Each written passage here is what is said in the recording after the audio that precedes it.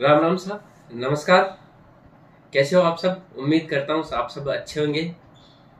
किसान भाइयों, आज का जो वीडियो है थोड़ा किसान पुत्रों के लिए है, जिनमें कृषि में कुछ वैकेंसीज आई है, जैसे कृषि प्रवेशक की और वाहन चालकों की भी है, टीए यानी कि टेक्निकल असिस्टेंट फार्म मैनेजर इन सबकी शैक्षणिक और अशैक्षणिक पदों पे यूनिवर्सिटी बीकानेर की जो वैकेंसी आई, उसके बारे में आज हम बात करेंगे कि क्या योग्यताएँ हैं कब से कब तक फॉर्म भरे जाएँगे कौन कौन आवेदन कर सकता है, कितनी फ़ीस होगी, इन सारी चीज़ों पर, इन सारे मुद्दों पे क्या सिलेबस होने वाला है एग्ज़ाम होगा या इंटरव्यू के द्वारा ये पद भरे जाएँगे।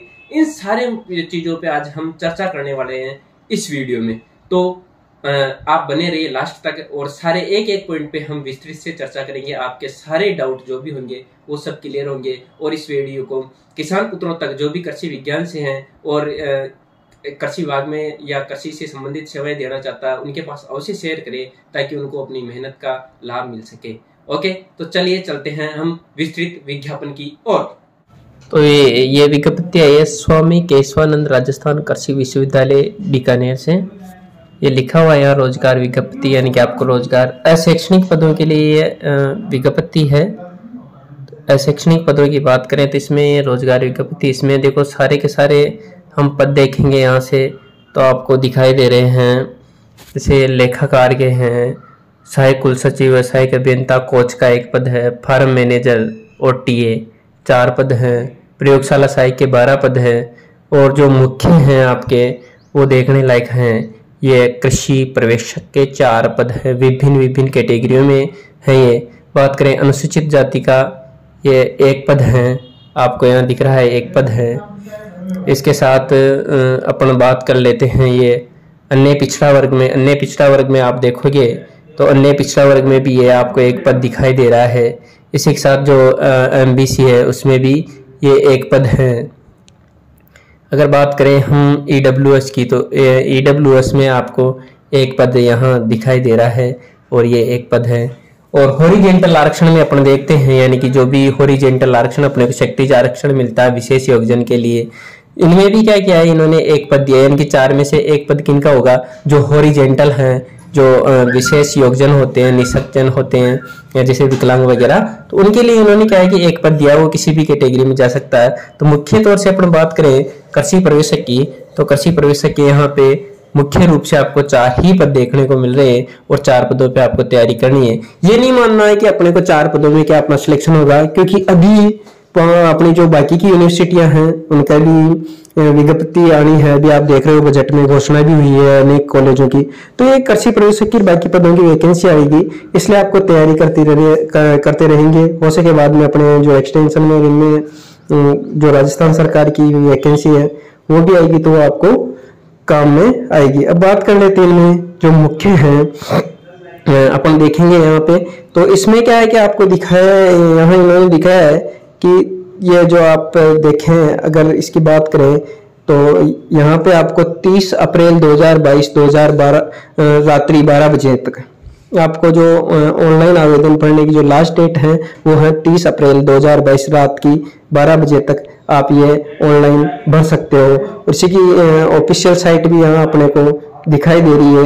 R A U Bikaner dot O R G पे आप बाकी सारी चीज़ें देख सकते हो। और ये आपको जो विज्ञप्ति है, ये आपके डिस्क्रिप्शन में जो टेलीग्राम लिंक है, उस पर आपको मिल जाएगी। इसी के साथ हम आगे ये महत्वपूर्ण टिप्पणी है, इसमें बात करते हैं। तो ये महत्वपूर्ण टिप्पणियाँ दी गई है, इसमें हॉरिजेंटल के बारे में छूट वगैरह आयु के बारे में इनमें सब में बताया गया है कौन से क्या है, जो है।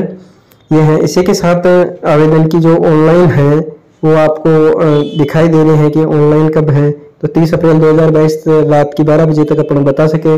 आवेदन प्राप्ति की अंतिम तिथि तक अभ्यर्थी की जो आयु है, वो होनी चाहिए 18 वर्ष के हो जाने चाहिए कम से कम। इसके साथ अपन ये पीस की बात कर लेते हैं कि पीस कितनी क्या रहेगी। तो जनरल एवं राजस्थान के क्रिमिलियर श्रेणी के, नॉन क्रिमिलियर क्रिमिलियर। अन्य पिछड़ा वर्ग, अति पिछड़ा वर्ग के लिए आठ सौ रुपया है। बाकी जो क्रिमिलियर आते हैं, जैसे अन्य पिछड़ा वर्ग है, अति पिछड़ा वर्ग या ईडब्ल्यू एस है, उनके लिए छह सौ रुपया है लगभग लगभग।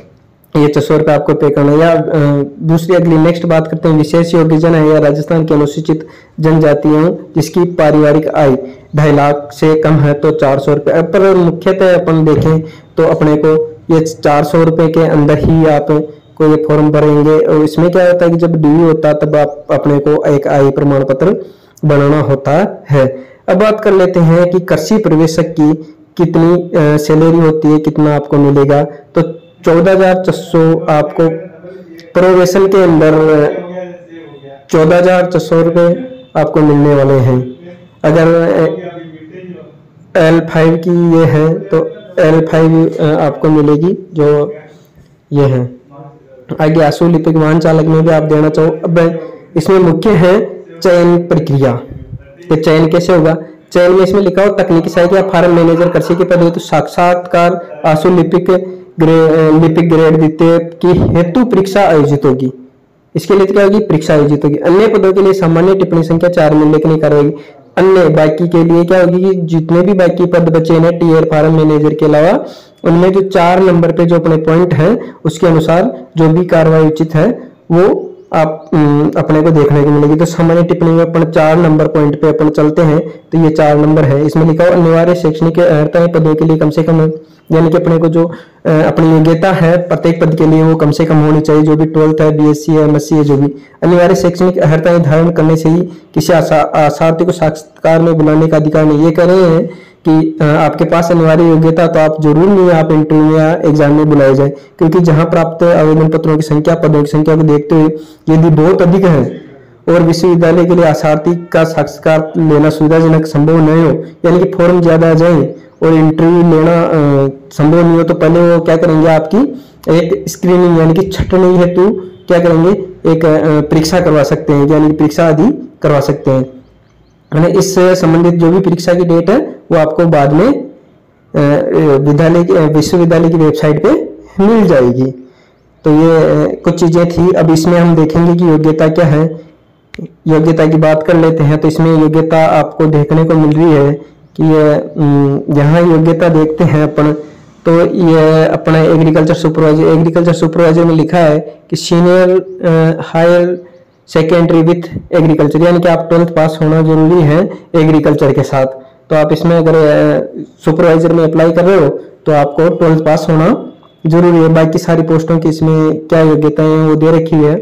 इसी के साथ अपन बात कर लेते हैं कि ऑनलाइन आवेदन पत्र भरने से संबंधित दिशा निर्देश क्या दिशा निर्देश है कृपया ऑनलाइन आवेदन पत्र भरने से पूर्व विद्यालय की विश्वविद्यालय की वेबसाइट पर उपलब्ध विज्ञप्तियों सामान्य दिशा निर्देशों का अध्ययन करें, अध्ययन करके भरना है।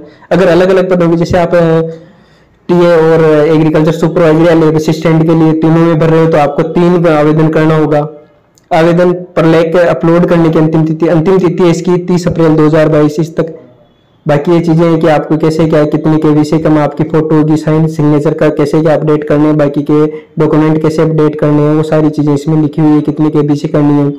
और जो भी आपका पेमेंट है, वो आप क्रेडिट कार्ड से नेट बैंकिंग से या यूपीआई से कटवा सकते हो। ये सारी चीज़ें इसमें दिशा निर्देश हैं। अतः आपको ये जानकारी अच्छी लगी हो और आपको लगता हो, आपके कोई साथियों तक इनको ज़रूर शेयर करें ताकि वो भी इस वैकेंसी में फॉर्म भर सके। बाकी सिलेबस वगैरह एग्ज़ाम की वो बाद में हम जैसे दिशा निर्देश आएँगे, बात करेंगे। ओके थैंक यू धन्यवाद साहब